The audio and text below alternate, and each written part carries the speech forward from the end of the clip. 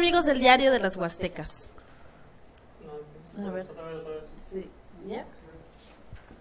¿Qué tal amigos del diario de las Huastecas?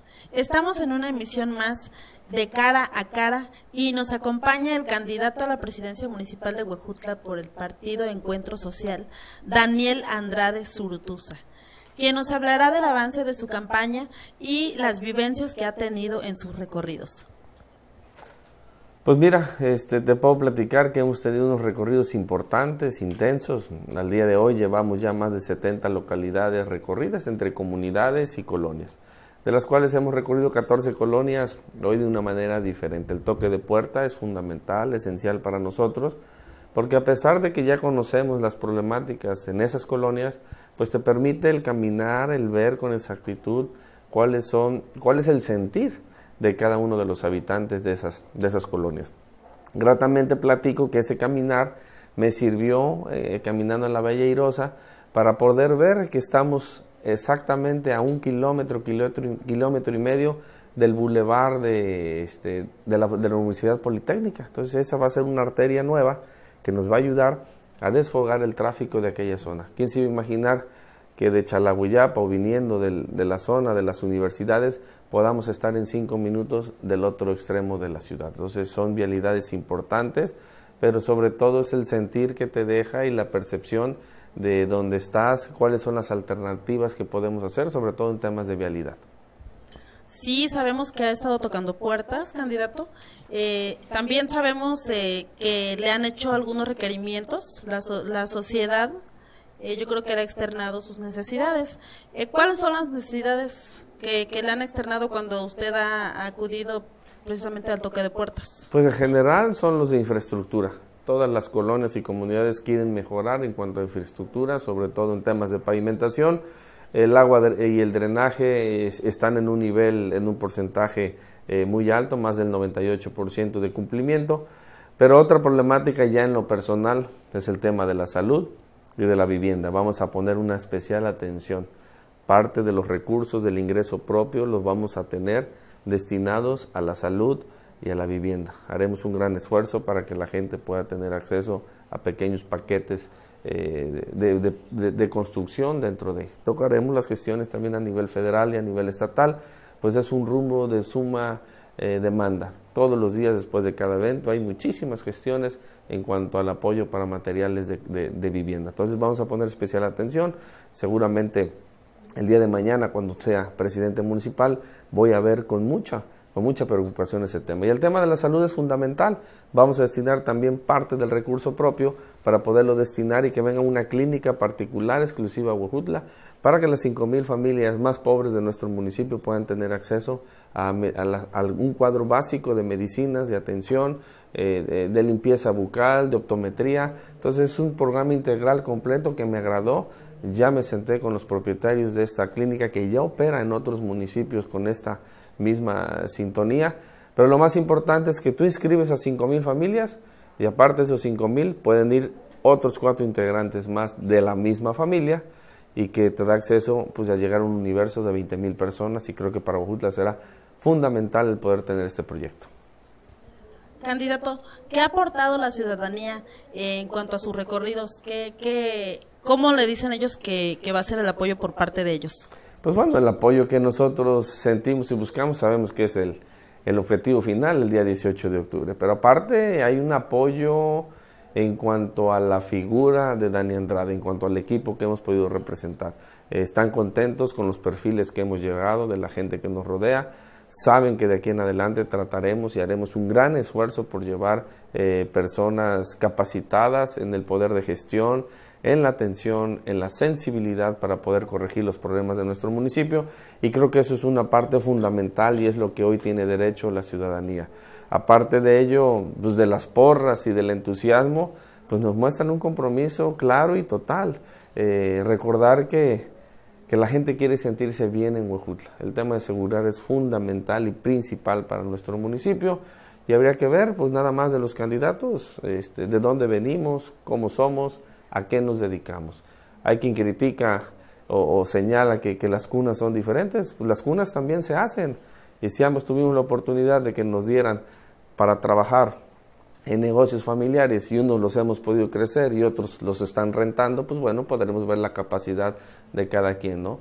Una persona que ha sido este, eh, fundamental el desarrollo pleno de, de, los comercios, hablando en mi caso, cuando yo llego había una sucursal nada más de la Media Luna, hoy afortunadamente por ese trabajo en equipo son cinco sucursales que tenemos del rubro que ustedes saben a los que les dedicamos, principalmente al, a la venta de pinturas, pero el grupo de nosotros ha podido crecer y a quien le dejaron una carnicería, pues hoy la renta, entonces hoy, hoy, hoy tendría que tener una cadena este, de carnicerías, que sí es un rubro, pero hoy, hoy, hoy está haciendo otra parte. Entonces ahí podemos ver a lo que nos hemos dedicado, la capacidad de cada quien y la manera correcta de poder trabajar en equipo. Candidato, nos comentaba sobre la gran demanda que tiene sobre la salud y en cuanto a lo que la sociedad le ha requerido con mayor frecuencia. ¿Qué hará usted al entrar a la presidencia municipal? Pues primero estamos identificando a esas familias que tienen una nula atención en cuanto al ramo de, la salud. Eh, posteriormente nos sentaremos con el cabildo, porque eso tiene que estar autorizado por ellos, para poder dar recursos propios y que podamos nosotros tener nuestra clínica particular. Obviamente tendremos que, que dar, otorgar y dar en comodato un terreno perteneciente a la administración. Ya lo tenemos ubicado, se necesitan unas medidas especiales para que pueda venir y anclarse y también buscar la logística para que la mayoría de nuestros habitantes puedan llegar con facilidad a, esa clínica propia. Es manejada por la iniciativa privada, está avalada para que a través de un fideicomiso lo podamos nosotros regular y poder tener la atención que necesitamos. Yo creo que es, parte de los caminos eh, que tenemos que llegar porque Recordar, vamos al hospital regional, está saturado, la gente que tiene acceso al ISTE se encuentra en las mismas características, quienes tienen derecho al seguro social, pues se encuentran en la misma situación, hacer filas desde las 6 de la mañana, ya no hay fichas, eh, hoy Huejutla ha crecido mucho, entonces abonaremos nosotros para que precisamente nuestros habitantes que no tienen derecho a otros accesos concretamente de la salud puedan ir única y exclusivamente a ser atendidos con, con una con un cuadro básico, tanto de medicinas y de, y de estudios, que, que, es lo que más demanda en estos momentos la ciudadanía. Así es. ¿Cómo han sido sus recorridos en estos días? Sabemos que las condiciones climatológicas pues no permiten pues hacer tal vez el recorrido como se quisiera, ¿verdad? Eh, cuéntenos, ¿si lo han hecho de forma normal o han tenido algún obstáculo? Pues ayer fue un día lluvioso desde el fin de semana, la semana pasada también llovió, pero no, no ha sido impedimento para que la gente salga, nos acompañe.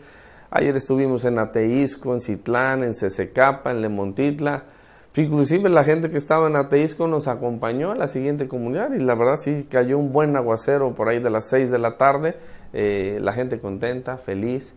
Por ejemplo, en Lemontitla pues pudimos estrenar la galera, eh, que, con mucho esfuerzo y, mucho, y con mucha responsabilidad eh, se pudo obtener esos recursos en algún momento que, estuvimos en una representación. Pero es parte del, del trabajo, pero es parte más que nada de la alegría que siente la gente, de acompañarnos, de estar con nosotros, de escucharnos. Hoy vemos, como diríamos coloquialmente en la política, pues es gente que nos ha demostrado que va a jalar con Encuentro Social, que va a jalar con Dani Andrade, que nos están mostrando su respaldo. Y de las 70 comunidades que hemos recorrido, es impresionante el apoyo que hemos encontrado y la naturalidad con la que la gente te lo ha manifestado. Tú rápido puedes identificar si alguien te lo dice por compromiso o te, te lo está diciendo por convicción. Hoy es un sentimiento importantísimo el que estamos sintiendo con toda la ciudadanía. Atendiendo al tema de las vialidades y condiciones de, movilidad en la ciudad, ¿qué contempla realizar para marcar las pautas de un, de un mejor desarrollo urbano? Pues desde el inicio eh, eh, he dejado sobre la mesa al Colegio de Arquitectos y de Ingenieros de la ciudad de Huejutla, que son alrededor de 14 integrantes, para que ellos, en base a la plática que, que tuvimos previo a la campaña, en cuáles son las ideas de este nuevo gobierno que me va a tocar presidir, he dejado sobre la mesa que ellos me hagan la propuesta de quién será el próximo director de, de, este, de obras públicas del municipio. Esto con la finalidad de que primero no digan y, y, comenten que Dani Andrade ya repartió todo y que van a estar sus amigos. Segundo, demostrar que esta administración tendrá la capacidad a cada una de las problemáticas a las que nos vamos a enfrentar y por ello tiene que ir un perfil idóneo para cada uno de los puestos. Estoy confiado que en el Colegio de Arquitectos encontraremos ese perfil. Hemos encontrado las salidas naturales que tiene el municipio, como lo que les comentaba de la calle de la Valle Rosa y poder conectar eh, con, el, con el bulevar de la Universidad Politécnica.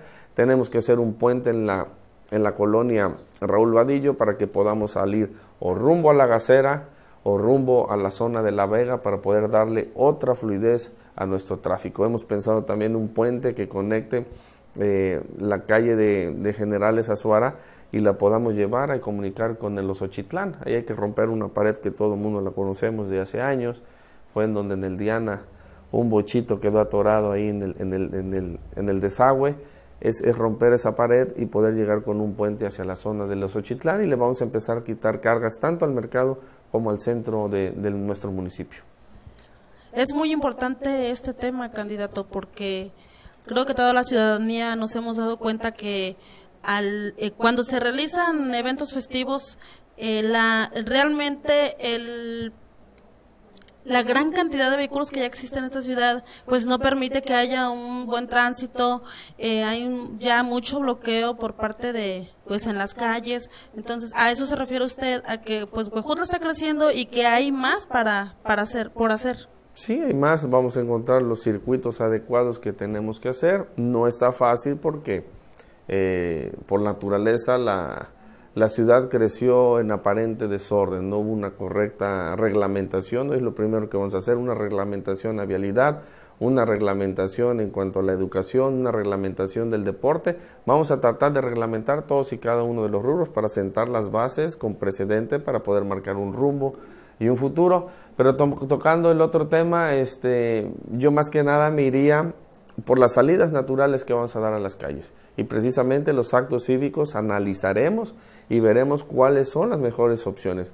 Recordar que tenemos una unidad deportiva inmensa, tenemos un pabellón de donde realizamos eh, la feria cada año y hemos pensado en que seguramente será un lugar correcto, idóneo para poder hacer los aniversarios de las escuelas, para poder hacer muchas actividades y seguramente también pensaremos si el chantolo lo seguimos haciendo en el centro o será ya el momento de poderlo trasladar hacia los terrenos de la feria. Va a ser algo que tendremos que pensar y consensar y tomar en cuenta la ciudadanía, porque hay quien me ha comentado que se le quitaría lo mágico, lo, lo bello de hacerlo entre el reloj y la, y la iglesia, pero tendríamos que ir pensando en varias soluciones. Hace muchos años la gente decía lo mismo de la feria, hace 30 años, que cómo iban a quitar la feria del centro, que nadie iba a ir, y después se cambió a la colonia Santa Elena. Y después de la Santa Elena se quitó de ahí y se fue hacia los terrenos de la feria. Y todo el mundo decía, ¿quién va a ir allá tan lejos? Y la gente va, la gente acude. Yo creo que dando las alternativas y pensando en todos, creo que será parte de los principios para que la siguiente administración pueda fomentar las bases del orden, de la atención, pero sobre todo de lo que todos queremos para Huejutla. Queremos un Huejutla más lindo, más bello, que podamos presumir con mayor emoción a quienes nos visitan usted va a estar siguiendo muy de cerca todo, toda esa organización. Por supuesto, sí, si quienes me conocen saben que soy una persona entregada a su trabajo, entregada a lo que se propone y estoy seguro que seré un, presidente municipal que va a marcar las bases del desarrollo para el municipio de Huejutla que tanto tiempo nos los ha estado solicitando la ciudadanía. ¿Cuál es el impacto de este tipo de propuestas? Ya sea para la población huejutlense como para quienes aquí convergen por diferentes tipos de actividades? Pues mira, nuestras propuestas están encaminadas, estudiadas, consensadas, pero sobre todo respaldadas por las justificantes que nos tienen que llevar a esa solución. No son únicamente ocurrencias, y lo he dicho, por ejemplo, el tema del aeropuerto. Aquí no le encantaría un aeropuerto en Huejutla, pero no podemos hablar de un aeropuerto si no tenemos dignamente una central de autobuses. Vamos a poner todos nuestros esfuerzos, ya hay pláticas muy avanzadas, concretamente con los propietarios y, dirigentes de, las empresas ADO, Vencedor y Estrella Blanca, para poderlos llevar a un lugar adecuado. Ah, tendremos aquí la inversión del área particular, tiene que venir un inversionista a podernos dar la solución, pero el municipio se encontrará en la darle la, la facilidad para que esa central de autobuses se pueda cimentar en Huejutla. Pues algo más que desea agregarnos. pues que vamos con un ritmo de trabajo muy importante. En siete días hemos recorrido más de 70 comunidades y colonias. Hoy vamos por 10 más y así estamos actuando cada día. Ya va a ser difícil que los demás candidatos eh, nos alcancen este ritmo de trabajo que estamos implementando. Y no vamos a prisa, vamos escuchando, llevándonos las propuestas, haciendo compromisos de trabajo reales. Eh, recordar que en Encuentro Social no necesitamos el apoyo de ningún... Eh, este, de ningún notario para poder escribir nuestros compromisos. Los compromisos se acuerdan con la comunidad, delante de la gente, lo hemos constatado, lo hemos hecho y somos un equipo de trabajo serio que sabe cumplir a, la palabra, pero lo más importante, que sabe cumplir a la ciudadanía y tiene correcta la información de cuáles son cada una de las necesidades y nosotros sabemos trabajar y lo hemos demostrado desde hace mucho tiempo. Para concluir con esta entrevista, le voy a, eh, y para cambiar un poquito la dinámica de la entrevista, le voy a mencionar algunas palabras claves, candidato, y me gustaría que usted pues me respondiera. Eh, por ejemplo, al nombrarle Huejutla. Lo que más quiero. Usos y costumbres. Lo que vamos a identificar a partir de hoy. Enchiladas. Riquísimas. Zacahuil patrimonio de los huajutlenses. Huasteca hidalguense. De los lugares más bellos de este país. ¿Cuál es su color favorito? El morado. ¿Mascota favorita? Un perro. Presidencia. De Dani Andrade. Catedral de Cristo Rey. La más antigua de Latinoamérica. Trabajo. Lo que hago todos los días.